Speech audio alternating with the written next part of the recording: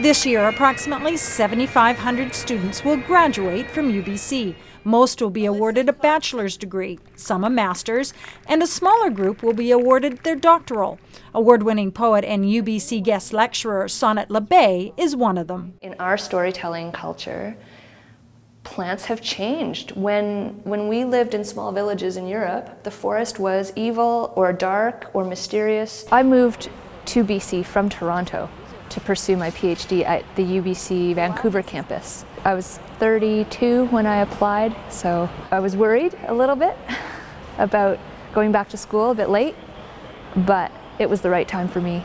When I decided to go back and do the PhD, at the time I was working full time, teaching on the side and writing on the side. So I thought that coming back to school, getting the PhD and being able to teach full time and write as part of what I do, that would be the ideal thing. That would just be my dream come true. So at the end of five years, just as I was finishing up, I came to UBCO to teach creative writing.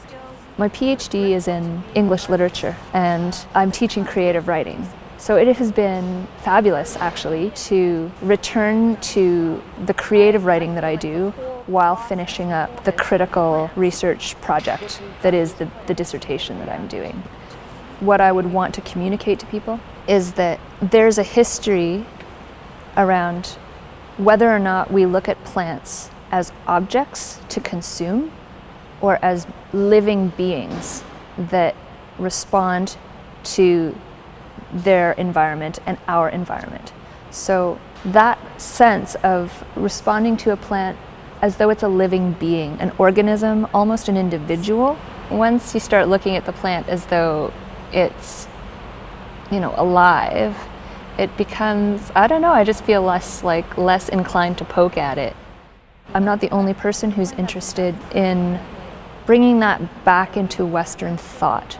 It's, it's not that it's never been there, it's that it became convenient for us to think of plants more as objects to consume. And now I have a lot of evidence to show that we haven't always thought of plants as objects to consume.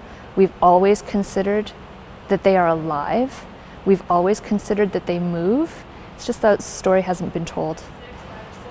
I knew that getting a PhD would give me the skills and the qualifications to maybe get to do that full time. So sometimes I don't know whether to say goal or dream, really, but is to be teaching creative writing full time at a university.